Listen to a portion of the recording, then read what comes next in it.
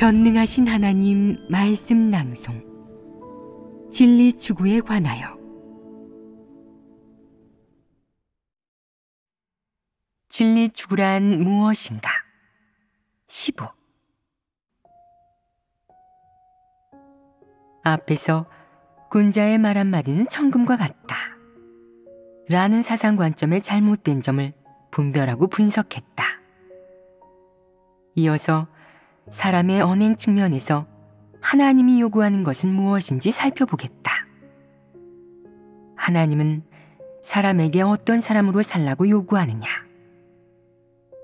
정직한 사람으로 살라고 요구하십니다. 맞다. 정직한 사람으로 살고 거짓말하지 말고 기만하지 말고 간사하게 굴지 말고 수단 부리지 말아야 한다. 일을 처리할 때 하나님 말씀과 진리 원칙을 구해야 한다. 아주 간단하다. 딱 이 몇 가지뿐이다. 말을 정직하게 하지 못한다면 스스로 고쳐야 한다. 허풍을 떨고 거짓말을 하고 주제 넘은 소리를 했다면 스스로 반성하고 인식한 뒤 진리를 구해 해결해야 한다. 자신의 실제 상태와 마음속 인식, 그리고 사실에 부합하는 말을 해야 한다. 그 밖에 다른 사람에게 약속한 일은 할 수 있으면 하고 할 수 없으면 빨리 상대에게 알려줘야 한다. 미안한데 전 잘 못할 것 같아요. 할 수도 없고요. 저는 그럴 능력이 없으니까 일을 그르치지 않으려면 얼른 도와줄 다른 사람을 찾아요. 라고 말이다. 꼭 뱉은 말을 지키고 신의를 지키려고 할 필요는 없다. 다만 정직한 사람으로 살아야 한다. 말과 행동이 정직해야 하며 거짓으로 꾸미거나 기만하지 말아야 한다.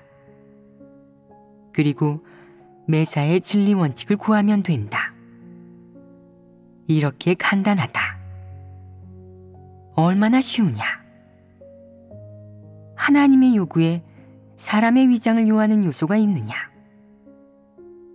요구하는 수준이 너무 높아 사람이 감당할 수 있는 한계를 넘어서고 사람이 본능을 뛰어넘게 하는 요소가 있느냐? 내 자질로 할 수 없는 일, 내 이해 능력으로는 도달할 수 없는 일, 혹은 신체적 에너지와 체력이 부족해서 할 수 없는 일에 대해 하나님은 힘 닿는 데까지만 최선을 다하라고 전력을 쏟아부었으면 그것으로 되었다고 말한다. 너는 이미 전력을 다했습니다만 하나님의 요구에 달하지 못했습니다. 제 능력은 이것밖에 안 됩니다. 하나님께서 만족하셨는지 모르겠어요. 라고 하겠지만 사실 그 정도면 하나님의 요구에 달한 것이다. 하나님은 사람에게 무리한 짐을 지게 하지 않는다. 내가 백근을 짊어질 수 있다면 하나님은 절대로 백근이 넘는 짐을 내게 주지 않는다. 하나님은 내가 압박감을 느끼게 하지 않는다. 하나님은 모든 사람을 이렇게 대한다. 게다가 너는 무엇에도 구애될 필요가 없다. 그 누구에게도 구애될 필요 없고 그 어떤 사상 관점에도 구애될 필요 없다. 너는 자유롭다. 어떠한 일이 임했을 때 내게는 선택할 권리가 있다. 하나님 말씀대로 실행해도 되고 내 개인적 의사에 따라 실행해도 된다.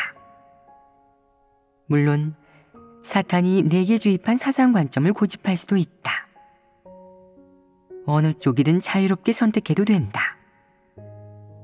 단 선택을 했다면 자기 선택에 책임을 져야 한다. 하나님은 그저 내게 길을 알려줬을 뿐 반드시 어떻게 해야 한다고 혹은 어떻게 해서는 안 된다고 강요하지는 않는다. 하나님이 길을 알려준 이유의 선택권은 너 자신에게 있다. 너는 충분한 인권과 선택권을 가졌다. 너는 진리를 선택할 수도 사람의 의사를 선택할 수도 있으며 당연히 사탄의 사상 관점을 선택할 수도 있다. 무엇을 선택하든 최종 결과는 너 혼자 감당해야 한다. 대신 감당해줄 사람은 아무도 없다. 내가 선택하는 동안 하나님은 전혀 간섭하지 않으며 그 어떤 강제적인 일도 하지 않는다. 무엇을 선택하든 근거가 되는 것은 너의 의사이다. 내가 올바른 길을 택하고 진리를 택했다고 해서 마지막에 이르러 하나님이 너를 크게 칭찬하거나 큰 이득을 보게 해주거나 내게 행복감과 본인이 대단히 고귀해진 것 같은 기분을 느끼게 해주지는 않는다. 하나님은 그렇게 하지 않는다. 만약 내가 사람의 뜻을 택한다고 해도 하나님이 곧장 내게 징계와 저주가 임하도록 하는 것은 아니다. 심지어 내가 사탄에게서 주입받은 사상 관점에 따라 행동하고 제멋대로 굴더라도 하나님은 곧바로 재난을 내려 너를 징벌하지 않는다. 내가 선택하는 순간 모든 것이 자연스럽게 진행되고 선택한 후에도 모든 것이 자연스럽게 진행된다. 하나님은 그저 관찰할 뿐이다. 그 모든 일이 일어나는 것을 지켜보고 그것의 발생 원인, 경과, 결과를 지켜본다. 물론 하나님이 최종적으로 사람을 평판하고 사람의 결말을 정할 때는 내가 개인적으로 매번 했던 선택에 따라 내가 걸은 길의 성질을 규정하고 내가 걸은 길을 통해 내가 어떤 사람인지 종합해보고 내가 어떤 사람인지를 보고서 어떤 결말을 맞이해야 할지 규정한다. 이것이 하나님의 방식이다. 알겠느냐? 하나님이 사역할 때는 절대로 어떠한 의견, 논조, 사상 관점이 사람들 사이에서 일종의 기풍을 형성하게 함으로써 사람의 생각을 제한하고 통제하지 않으며 그로 인해 사람이 어쩔 수 없이 하나님의 요구대로 행동하게 하지 않는다. 그것은 하나님이 사역하는 방식이 아니다. 하나님은 사람에게 충분한 자유와 선택할 권리를 준다. 사람은 충분한 인권과 선택권을 누릴 수 있다. 어떠한 환경이 임할 때마다 사람은 사탄의 사상 관점을 받아들여 일의 성질을 판별하고 판단할 수도 있고 하나님 말씀과 진리 원칙에 근거해 일의 성질을 판별하고 판단할 수도 있다. 사실이 이렇지 않으냐? 하나님은 사람에게 강요하지 않으며 하나님이 하는 일은 모든 사람에게 공평하다. 진리와 긍정적인 사물을 사랑하는 사람은 결국 진리와 긍정적인 사물을 사랑하기 때문에 진리를 추구하는 길을 걷고 진리를 얻고 하나님을 경외하는 마음이 생기고 하나님께 진실로 순종할 수 있게 되어 구원받는다. 반면 진리를 사랑하지 않는 사람, 언제나 제멋대로 굴고 자기 뜻대로 일을 처리하는 사람들은 진리를 싫어해서 진리를 조금도 받아들이지 않는다. 그저 하나님의 심판과 형벌이 무섭고 하나님의 징벌이 임할까봐 무서워서 마지못해 하나님 집에서 생색내기용 일을 조금 하고 힘을 조금 쓰고 좋은 행위를 조금 한다. 그들은 진리를 받아들이거나 하나님의 도를 준행해 본 적이 없으며 진리를 추구하고 실행하는 길에 들어서지도 못했기에 항상 진리를 깨닫지도 진리 실제에 진입하지도 못한다. 그래서 구원받을 기회를 놓치고 만다. 이러한 부류는 봉사자가 대부분이다.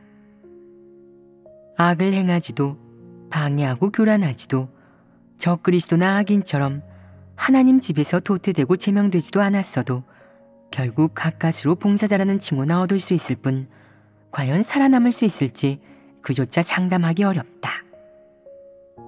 그 밖에 또 다른 부류로는 사탄에게 속한 자들이다. 그들은 사탄에게서 온 각종 사상 관점을 완고하게 고집하면서 죽어도 진리를 받아들이려 하지 않고 죽을 각오로 진리 및 하나님 말씀과 대립한다. 더 나아가서는 모든 긍정적 사물 및 하나님과 양립할 수 없는 관계가 된다. 그러다가 결국에는 교회 사역을 방해하고 교란하고 악행을 수없이 많이 저지르고 완전히 사탄 역할을 한 까닭에 누군가는 교회에서 제명당하고 누군가는 출교 처분을 받고 제적당한다. 어떤 사람은 제적과 출교 처분을 받지 않았다 해도 마지막에는 하나님에 의해 도태된다. 그들이 구원받을 기회를 잃는 것은 진리와 하나님의 구원을 전혀 받아들이지 않기 때문이다. 마지막에 이르러 이 세상이 멸망될 때 그들은 사탄과 함께 멸망된다. 보아라. 하나님이 사역하는 방식은 이렇게나 자유롭고 모든 것을 흘러가는 대로 둔다. 하나님은 사람에게 역사하여 사람을 인도하고 깨우치고 돕는다. 때로는 일깨우고 위로하고 권면하기도 한다. 이것이 바로 하나님의 성품 중 사람에게 널리 긍휼을 베푸는 부분이다. 하나님이 사람에게 널리 긍휼을 베푸는 동안 사람은 하나님의 풍성한 은혜와 축복을 누리고 충분한 해방과 자유를 누린다. 무엇인가에 구애되는 느낌이나 무엇인가에 결박당한 느낌은 전혀 없었고 어떠한 의견 혹은 사상 관점의 제한을 받는 느낌은 더더욱 없었다. 하나님은 한편으로 이렇게 사역하는 동시에 다른 한편으로는 교회의 행정법령과 규정, 각종 제도로 사람을 단속하고 사람의 폐괴와 폐역을 책망하고 훈계하고 심판하고 형벌한다. 더 나아가 어떤 사람들에게는 징계와 채찍질이 임하고 하나님 말씀의 폭로와 질책 등등이 임한다. 그러나 사람은 이러한 것들을 누리는 동시에 하나님이 널리 베푸는 국률과 큰 진노도 누린다. 하나님이 가진 공의 성품의 또 다른 면인 큰 진노가 사람에게 나타날 때도 사람은 거기에 구애되고 결박당하고 제한을 받는 것이 아니라 자유로움과 해방감을 느낀다. 하나님의 공의 성품 중 어떠한 면이 사람에게 임하고 행해지든 사람이 느끼는 것은 사실상 항상 하나님의 사랑이며 사람에게 나타나는 성과는 항상 긍정적이다. 사람은 수학을 얻고 당연하게도 최대 수혜자이다. 하나님은 바로 이렇게 사역한다. 아예 강요하지 않고 강박하지 않고 억압하지 않고 결박하지 않는다. 오히려 사람에게 해방감과 자유로움, 홀가분함과 유쾌함을 느끼게 한다. 사람이 누리는 것이 하나님의 극률과 자비이든 아니면 공의와 위험이든 결국 하나님에게서 얻는 것은 진리이다. 인생의 의의와 가치를 깨닫게 되고 사람이 마땅히 걸어야 할 길과 사람됨의 방향 및 목표를 깨닫게 된다. 사람이 얻는 것이 너무나도 많다. 사람은 사탄의 권력 아래에서 살며 사탄에게 주입받은 각종 그릇되고 터무니없는 사상 관점에 결박당하고 제한당하고 손상을 입는다. 그것은 몹시 고통스러운 일이지만 스스로 거기에서 벗어날 힘이 없다. 사람이 하나님 앞으로 나아왔을 때 어떤 태도로 하나님을 대하든 사람을 대하는 하나님의 태도는 항상 변함이 없다. 하나님의 성품과 본질이 바뀌지 않는 까닭이다. 하나님은 계속 진리를 선포해 자신의 성품을 드러내고 본질을 나타내고 있다. 이러한 방식으로 사람에게 역사함으로써 사람은 하나님의 자유와 긍휼을 충분히 누렸을 뿐만 아니라 하나님의 공의와 위엄도 충분히 누렸다. 이러한 환경에서 사는 인류는 행복한 존재이다. 만약 이러한 환경에서도 사람이 진리를 추구하지 못하고 진리를 사랑하지 않아 결국 진리를 얻지 못함으로써 구원받을 기회를 잃고 심지어 일부는 징벌을 받고 사탄과 마찬가지로 멸망된다면 이유는 오직 하나일 것이며 그것은 사실이기도 하다. 너희가 생각하기에는 어떤 사실일 것 같으냐? 사람은 본성에 따라서 각기 다른 길을 걷고 각기 다른 결말을 맞이한다. 최종적으로 각 부류 사람의 결말이 정해질 때가 바로 사람이 각기 부류대로 나누어질 때이다. 사람이 진리를 사랑하고 긍정적인 사물을 사랑하면 사탄이 아무리 많은 부정적 사물을 주입해도 마지막에 하나님이 말씀하고 역사할 때 그는 하나님 앞으로 돌아와 진리를 추구하는 길을 걷고자 한다. 만약 사람이 진리를 사랑하지 않고 싫어하면 하나님이 아무리 많은 말씀을 해도 하나님 말씀이 아무리 간곡해도 하나님이 아무리 많은 사역을 하고 커다란 이적과 기사를 나타내도 진리를 사랑하지 않고 싫어하는 성품이 사람의 내면에서 주도적인 위치를 차지하며 이 점은 변하지 않는다. 아기는 더 말할 것도 없다. 그는 단순히 진리를 싫어하는 것만이 아니라 본질이 사악하며 진리를 증오한다. 그는 하나님과 대립하는 자이자 사탄 진영에 속한 자이다. 하나님을 믿더라도 결국에는 사탄에게 돌아간다. 이 세 부류의 사람은 똑같이 사탄에게 폐괴되었고 사탄의 각종 원사와 사상 관점에 미혹되고 제한당했다. 그런데 어째서 마지막에 어떤 사람은 구원받을 수 있고 어떤 사람은 구원받을 수 없는 것이냐? 주로 사람이 어떤 길을 걷는지, 그리고 과연 진리를 사랑하는지, 이 두 가지 측면과 관련이 있다. 그렇다면 어째서 어떤 사람은 진리를 사랑할 수 있고 어떤 사람은 진리를 사랑하지 않는 것이냐? 어째서 어떤 사람은 진리를 추구하는 길을 걸을 수 있고 어떤 사람은 걷지 못하며 심지어 공개적으로 하나님에게 대들고 진리를 헐뜯는 사람도 있는 것이냐? 어째서 이런 것이냐? 본성 본질이 이를 결정하지 않느냐? 똑같이 사탄에게 폐괴되었어도 사람의 본질에는 차이가 있다. 보아라. 하나님의 사역에는 지혜가 있지 않느냐? 하나님은 인류를 명확히 알지 않느냐? 그러면 하나님은 왜 사람에게 자유롭게 선택할 권리를 준 것이냐? 어찌서 강제적으로 주입하지 않는 것이냐? 하나님은 사람을 각기 부르대로 나누려 하고 모든 사람을 드러내려 하기 때문이다. 하나님은 쓸데없는 일을 하지 않는다. 하나님이 하는 일에는 모두 원칙이 있다. 사람에게 어떤 사역을 하는지는 그 사람이 어떤 부류인지에 따라 달라진다. 사람의 부류는 무엇을 보고 알 수 있느냐? 무엇에 따라 갈리는 것이냐? 사람이 좋아하는 것을 보고 사람이 걷는 길을 보고 알 수 있다. 그렇지 않으냐?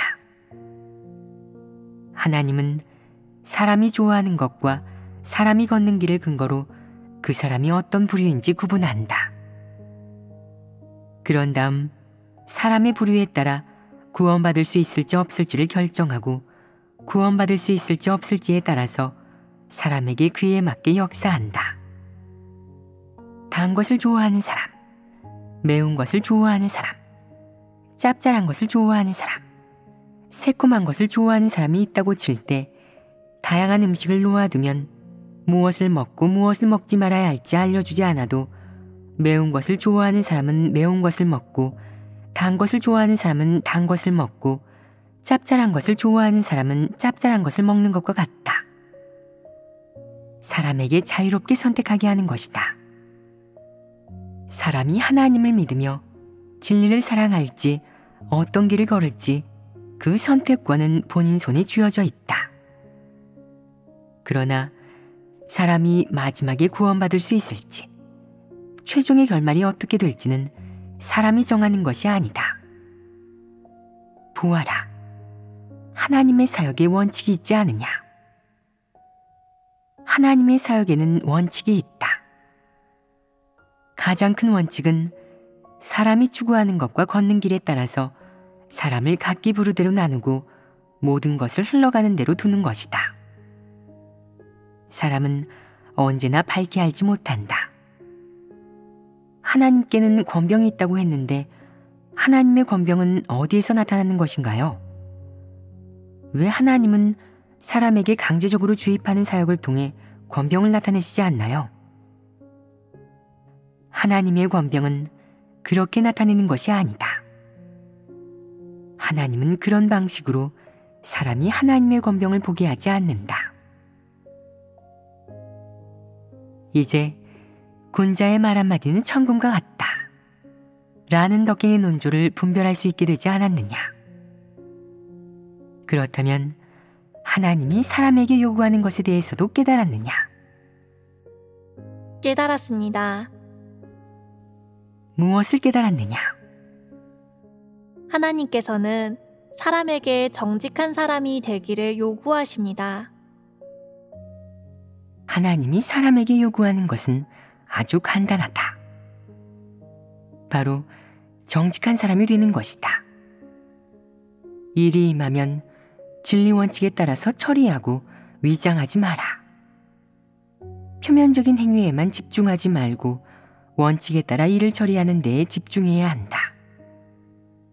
내가 걷는 길이 옳고 내가 추구하는 처신 원칙이 옳고 하나님 말씀에 담긴 진리에 부합하면 된다. 이것이 간단하지 않으냐? 사탄은 진리가 없고 진리를 받아들이지도 않기 때문에 사람이 좋고 옳다고 생각하는 논조로 사람을 미혹한다. 사람에게 군자가 되고 좋은 행위를 하고 소인배가 되지 말고 나쁜 짓을 하지 말라고 한다.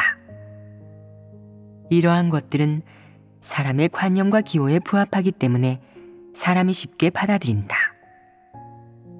그래서 사람은 금방 그것에 미혹된다. 그것이 사람에게 시키는 일은 그저 표면적인 좋은 행위에 불과하다.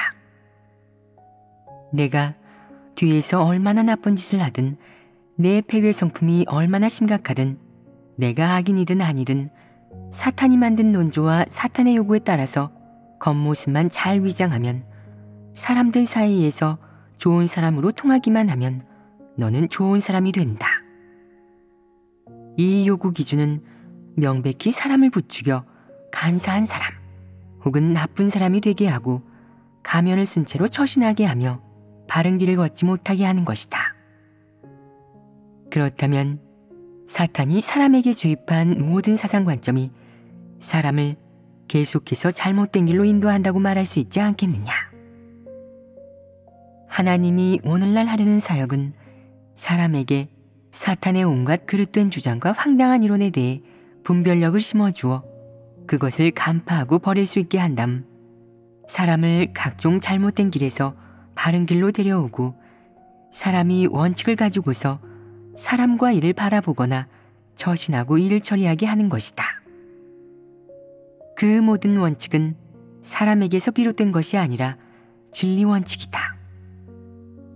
사람이 진리 원칙을 깨달은 뒤에 그런 진리 원칙에 따라 실행할 수 있게 되고 진리 원칙의 실제에 진입하면 하나님 말씀과 하나님의 생명이 차츰차츰 사람의 내면에 만들어진다.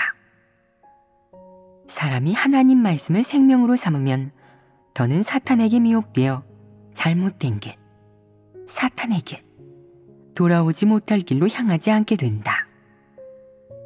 이러한 사람은 사탄이 어떻게 미혹하고 폐괴시키든 하나님을 배신하지 않는다.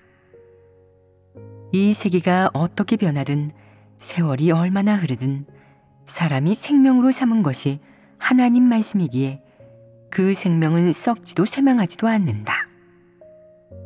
생명이 썩지도 쇠망하지도 않기에 사람도 그 생명과 공존하며 쭉 살아간다.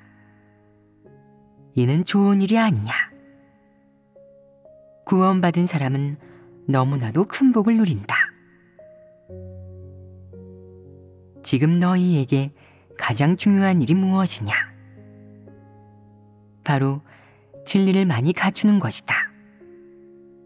진리를 많이 갖추고 많이 듣고 많이 체험하고 많이 깨달아야만 사람과 일을 바라보거나 처신하고 일을 처리할 때 하나님 말씀을 들어 근거로 삼을 수 있고 진리 원칙이 무엇인지 정확히 알 수 있다. 이래야만 잘못된 길에 들어서지 않게 되고 사람의 뜻과 사탄이 내게 주입한 사상 관점으로 하나님 말씀과 진리 원칙을 대체하지 않게 된다. 그렇지 않느냐? 그러므로 지금 너희에게 가장 중요한 일, 가장 급하게 해야 하는 일은 바로 진리를 갖추고 하나님 말씀을 많이 깨닫는 것이다. 너희는 하나님 말씀에 공을 들여야 한다. 하나님 말씀에는 아주 많은 내용이 포함되어 있고 진리 항목도 아주 많다. 각 항목의 진리를 서둘러 갖추어야 한다. 만약 이를 갖추지 않아서 일이 임했을 때 하나님 말씀을 들어 근거로 삼지 못하고 자기 뜻대로 처리한 결과 원칙을 어기고 과오를 남기게 된다면 이는 곧 오점이다.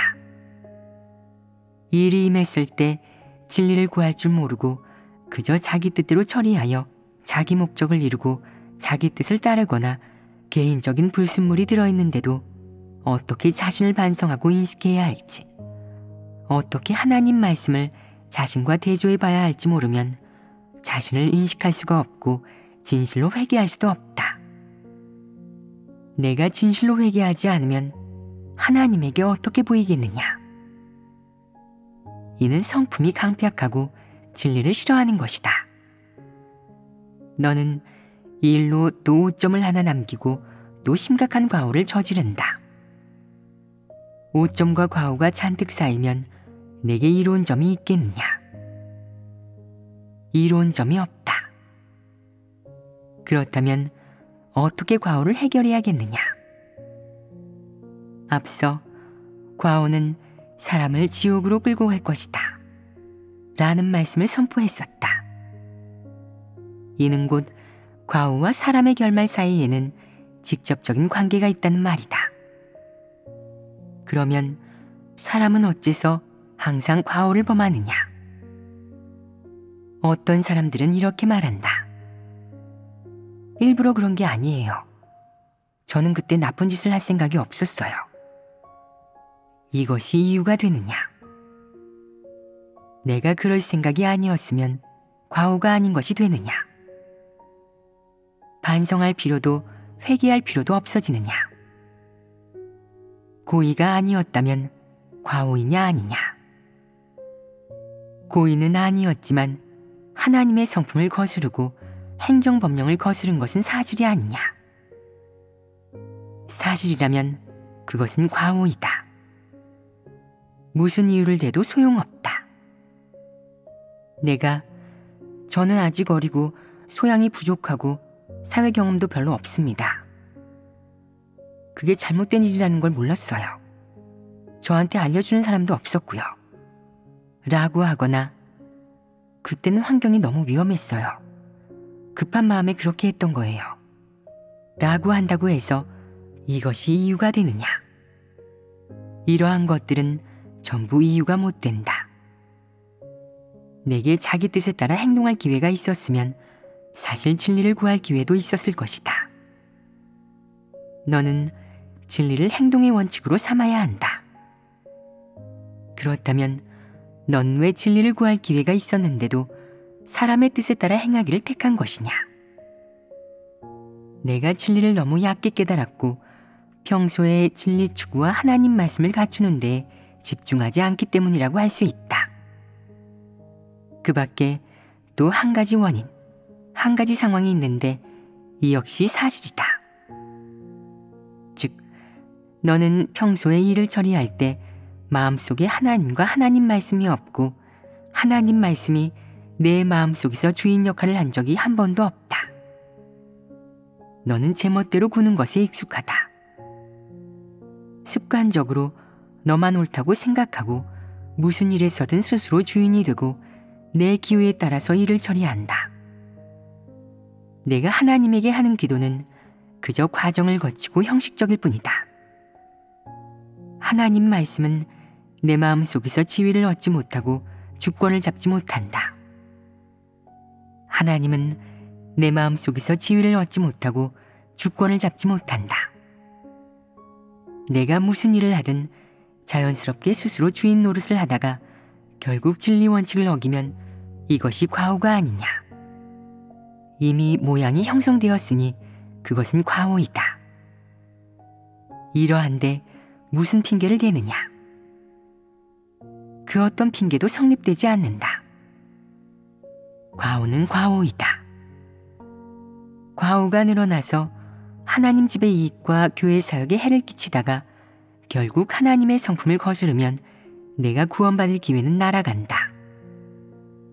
이것이 바로 과오는 사람을 지옥으로 끌고 갈 것이다. 이에 정확한 말이며 사실이 바로 이러하다. 이는 사람의 폐괴 성품 때문에 생기는 일이다.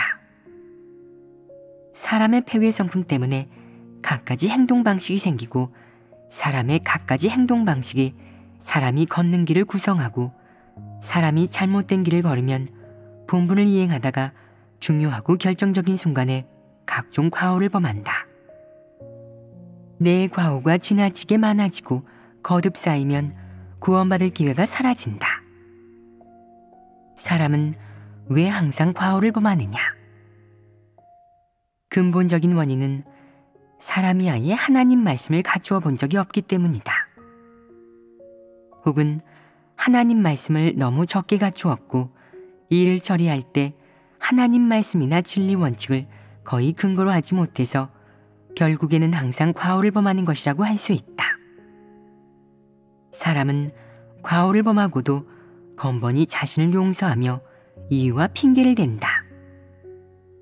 일부러 그런 게 아니에요. 저는 좋은 의도였어요.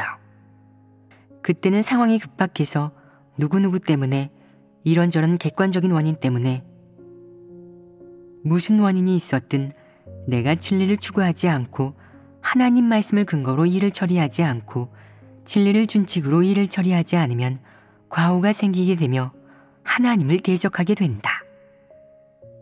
이는 부정할 수 없는 사실이다. 이 사실을 근거로 한다면 내 결말은 반드시 앞서 말했던 과오는 사람을 지옥으로 끌고 갈 것이다. 처럼 될 것이다. 알겠느냐?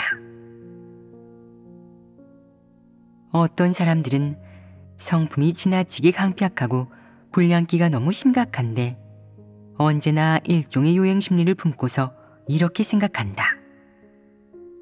자그마한 과오쯤은 별것 아니니 하나님께서 벌하지 않으셔.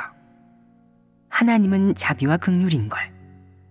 항상 사람을 너그럽게 용서하시고 인내하시지. 하나님의 날까지는 아직도 많이 남았어.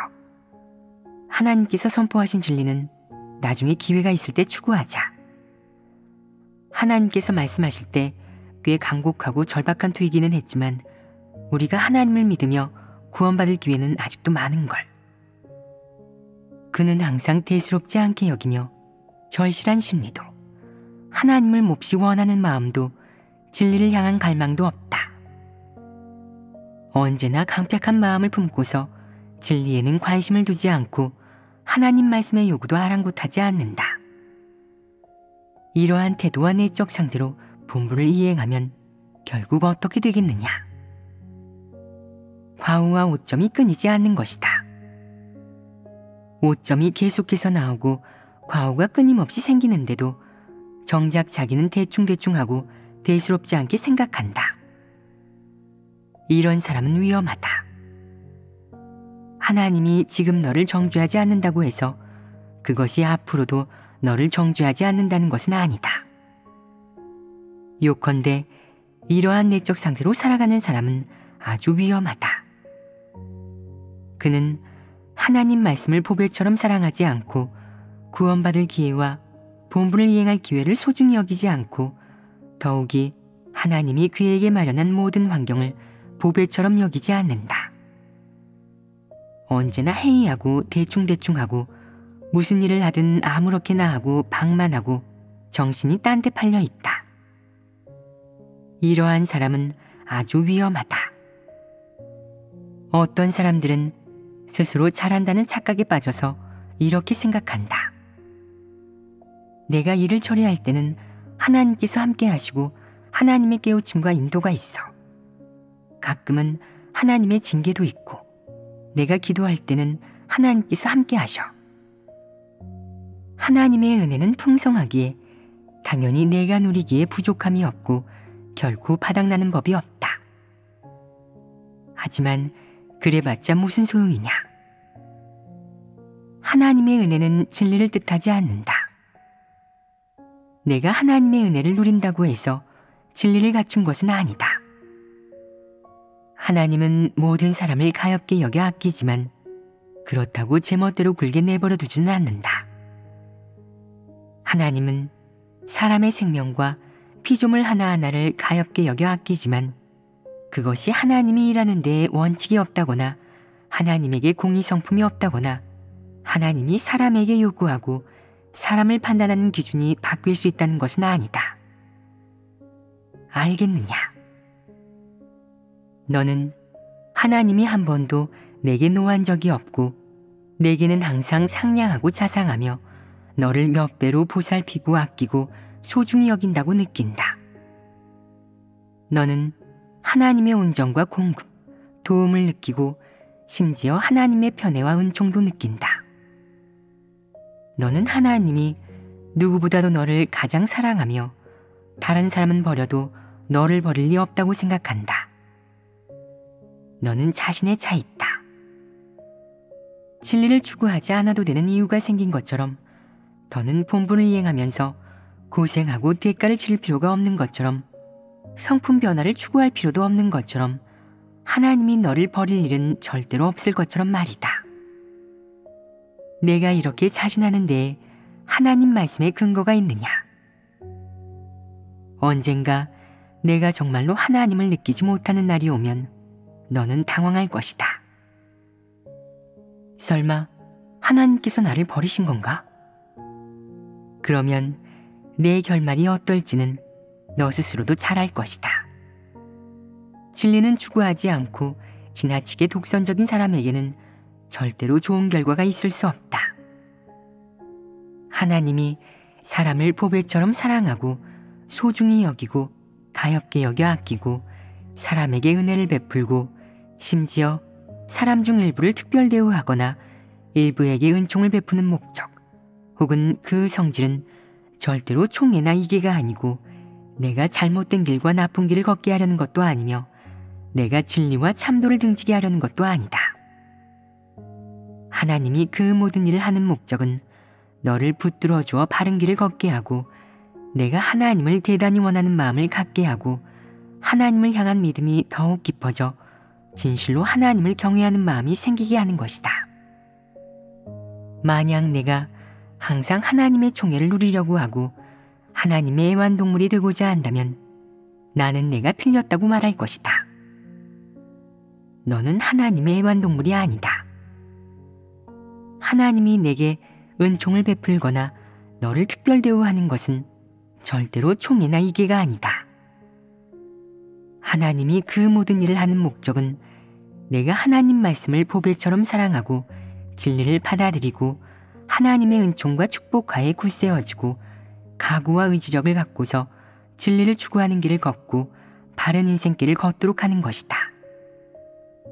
물론 확실하게 말하건대 하나님이 이러한 진리를 선포할 때 공급과 생명을 얻고 하나님의 사랑을 누린 내가 하나님의 은총에 감사할 수 있고 내 위치에 똑바로 서서 하나님 말씀을 많이 갖추는 한편 하나님 말씀을 더욱더 보배처럼 사랑할 수 있고 본분을 이행하면서 진리 원칙을 구할 수 있고 노력해서 하나님 말씀을 근거로 사람과 일을 바라보거나 저신하고 일을 처리하는 데에 이른다면 하나님의 기대에 부응하는 것이다.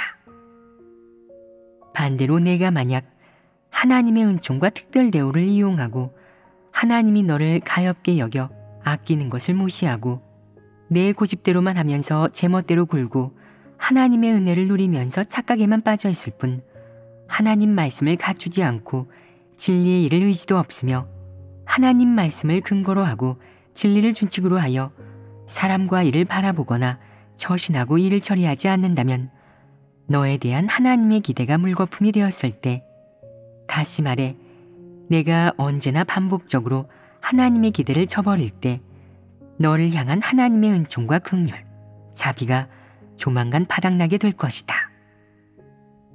내가 그것을 바닥내는 그날, 즉, 하나님이 그 모든 은혜를 거두어가는 날이 오면 내가 하나님이 함께한다는 느낌조차 받지 못하게 되면 너는 내 내면이 어떤 느낌인지 알게 될 것이다. 내면이 어두워지고 가라앉고 불안해지고 초조해지고 공허해지고 앞길이 막막하고 겁이 나고 두려운 나날을 보내게 된다. 이는 무서운 일이다. 그렇기에 사람은 하나님이 준 모든 것과 자기가 마땅히 이행해야 하는 본분을 소중히 여기는 법을 배워야 하는 동시에 보답할 줄 알아야 한다. 사실 하나님이 내게 요구하는 보답이 하나님을 위해 대단한 공헌을 하라거나 하나님을 대단히 힘있게 증거하라는 것은 아니다. 하나님이 원하는 것은 내가 바른 길을 걷는 것, 하나님이 걸으라고 한 길을 걷는 것이다. 하나님의 은혜는 사람이 누리기에 충분하다. 하나님은 그 은혜를 사람에게 베푸는데 인색하지 않고 그 은혜를 사람에게 베푼 것을 후회하지도 않는다. 누구에게 은총과 축복을 베풀든 그것은 하나님이 기꺼이 원해서 하는 일이고 모두 하나님의 본질, 하나님의 성품, 하나님의 신분에서 비롯된 것이다. 하나님은 사람에게 베푼 것을 전혀 후회하지도 아까워하지도 않는다.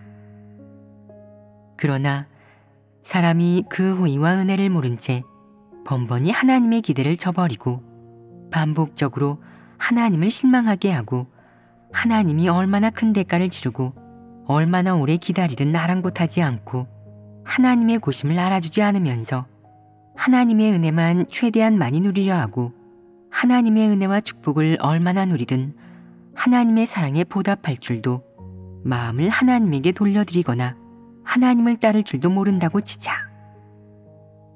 말해보아라.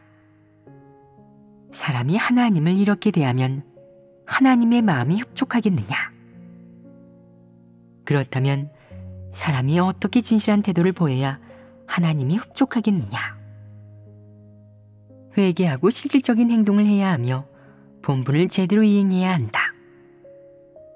온갖 이유와 핑계만 붙들고 있지 마라. 하나님의 은혜와 관용, 인류를 가엽게 여겨 아끼는 마음은 내가 자신을 방임하는 데에 핑계나 근거가 되지 않는다. 하나님이 무엇을 하든 사람을 위해 어떠한 심혈을 기울이든 어떠한 생각을 가지고 있든 궁극적인 목적은 오직 하나이다. 바로 사람이 바른 길을 걷고 바른 길로 돌아오기를 바라는 것이다. 바른 길이란 무엇이냐? 진리를 추구하고 진리를 많이 갖추는 것이다. 사람이 걷는 길이 하나님 말씀을 근거로 하고 진리를 준칙으로 하면 하나님이 너를 위해 치른 대가와 모든 기대가 보답받는다. 말해보아라. 사람에 대한 하나님의 요구가 높으냐? 하나님의 요구는 높지 않다. 게다가 하나님은 충분한 인내심과 사랑을 가지고 사람이 돌아오기를 기다린다. 내가 하나님에게로 돌아오면 하나님은 내게 고작 약간의 은혜와 축복만 베풀지 않는다. 진리와 생명 측면, 그리고 내가 걷는 길에서 너에게 공급하고 너를 붙들어주고 인도한다. 하나님은 내게 더 크게 역사하려고 한다. 이것이 하나님이 기대하는 것이다. 이러한 사역을 하기에 앞서 하나님은 귀찮아하지도 않고 사람을 인도하며 붙들어주고 사람에게 은혜와 축복을 베푼다. 이 모든 것들은 하나님이 처음에 품었던 뜻도 특별히 원해서 하는 일도 아니지만 어쩔 수가 없다. 하나님은 이렇게 자신이 서럽더라도 사람을 위해 어떤 대가든 치르고 모든 대가를 아끼지 않고 이러한 사역을 할 수밖에 없다. 하나님이 이 모든 사역을 하면서 궁극적으로 사람에게서 보고자 하는 것은 사람이 돌아오는 모습이다. 하나님의 뜻과 생각을 깨닫고 하나님이 왜 이렇게 하는지 깨달으면 사람은 하나님의 사랑스러운 점을 인식하게 되고 분량이 조금 생기고 자라게 된다. 사람이 하나님에게서 공급받은 여러 진리를 참답게 대하기 시작하고 공을 들이기 시작하고 여러 진리 실제에 진입하기 시작하면 하나님은 기뻐할 것이다. 그러면 하나님은 더 이상 사람과 함께하거나 사람을 위로하거나 일깨워 주거나 권면하는 것처럼 단순한 일을 할 필요가 없어진다. 대신에 진리와 생명 측면에서 사람이 걷는 길 측면에서 사람에게 더 많이 공급하고 사람에게 더 크고 구체적인 사역을 한다. 어째서 하나님은 이러한 사역을 하기를 더 좋아하겠느냐? 하나님이 이러한 사역을 하면서 사람에게서 희망을 보고 사람의 미래를 보고 사람과 하나님이 한마음 한뜻이 되는 것을 보면 그것은 사람에게나 하나님에게나 모두 대단히 좋은 일이며 하나님이 오랫동안 기대하던 일이기도 하기 때문이다. 사람이 진리를 추구하는 길에 들어서면 사탄과 싸우고 굳게 서서 하나님을 증거할 힘과 실제적 분량이 차츰차츰 더 커진다. 하나님 입장에서는 또 한 명의 창조된 인류가 일어나 하나님을 위하여 사탄과 싸우는 것을 볼 가능성이 커진다. 이는 하나님의 영광이다. 사람은 분량이 커질수록 점점 더 굳세지고 간증이 생기며 하나님을 점점 더 경외하게 되고 하나님께 순종하게 된다.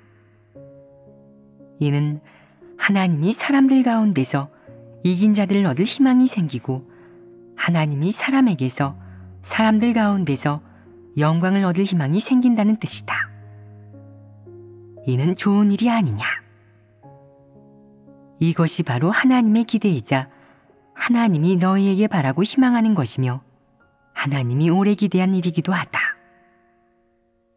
만약 사람이 하나님의 마음을 이해하고 헤아릴 수 있다면 하나님이 요구하는 일에 공을 들이고 대가를 치를 것이며 하나님이 하려는 일에 힘껏 협력하고 하나님의 염원을 이루고 하나님의 마음을 위로할 것이다. 내게 이럴 마음이 없다면 하나님도 강요하지 않는다. 내가 왜 저는 그럴 마음이 없죠? 왜 하나님이 요구하시는 걸 해내고 싶지 않을까요? 하나님이 요구하시는 걸 해낼 생각만 하면 왜 마음이 거북하고 불편하고 순종하기 싫은 걸까요? 라고 말한다면 너는 하나님이 요구하는 것을 해내지 않아도 된다. 이는 자기가 원해야 하는 일이다. 내게는 선택할 권리가 있다. 너는 자유롭고 하나님은 사람에게 억지로 시키지 않는다. 너희에게 이 말을 하는 것은 그저 하나님이 이루고자 하는 사실과 너희가 짊어진 책임, 하나님의 기대를 너희에게 충분히 이해시키기 위해서이다. 이에 대해 확실하게 알았느냐? 네. 확실하게 알았으면 되었다. 알았으면 사람의 마음속에 생각이 있을 것이요. 앞으로 어떤 방면으로 노력하고 무엇을 해야 하며 어떤 대가를 치러야 할지 마음속에 계산이 서고 방향이 정해졌을 것이다. 오늘은 군자의 말 한마디는 천금과 같다. 라는 덕행의 논조를 교제했다. 앞서 사탄이 제창한 덕행 측면의 논조를 이미 몇 가지 교제했기에 이번 논조를 교제할 때는 분별하기가 상대적으로 쉬웠을 것이다. 덕행에 관한 어떤 논조든 대부분 사탄이 어떠한 의견을 이용해 사람의 행위를 속박하고 제약한 다음 사회에서 일종의 기풍을 형성하고 기풍을 형성하는 것과 동시에 인류 전체의 생각을 미혹하고 통제하고 제한함으로써 인류 전체가 하나님과 대립하게 하려는 것이다. 사람이 하나님과 대립하게 한 이후 사탄은 하나님이 사람에게 어떻게 손을 대야 할지 모르고 사역할 수가 없는 모습을 보고 싶어 한다. 사탄은 이러한 목적을 이루고 싶은 것이다. 이것이 사탄이 이 모든 일을 저지른 것의 본질이다. 사탄이 제창하는 덕행의 논조는 어떤 측면의 행위 혹은 사상 관점을 대표하든 간에 전부 다 진리와 무관하다. 게다가 진리와 상충되기도 한다. 사탄이 제창하는 덕행의 논조를 사람은 어떻게 대해야 하겠느냐? 간단한 기본 원칙은 사탄이 내놓은 모든 의견은 우리가 폭로하고 분석하고 간파하고 버려야 할 대상이라는 것이다. 그것이 사탄에게서 온 것인 이상 마음속으로 밝게 알았다면 그것을 정죄하고 버릴 수 있다. 사탄의 것이 교회 안에 존재하면서 하나님 선민을 미혹하고 폐괴시키고 교란하는 작용을 하는 것을 용납해서는 안 된다. 하나님 선민이 사탄을 버리게 하고 하나님 선민에게서 더는 사탄의 그릇된 주장과 황당한 이론의 그림자를 찾아볼 수 없게 해야 한다. 대신에 하나님 말씀과 진리가 하나님 선민의 마음 속에서 주인이 되고 생명이 되게 해야 한다. 그러한 인류야말로 하나님이 얻으려는 인류이다. 오늘은 여기까지 교제하겠다.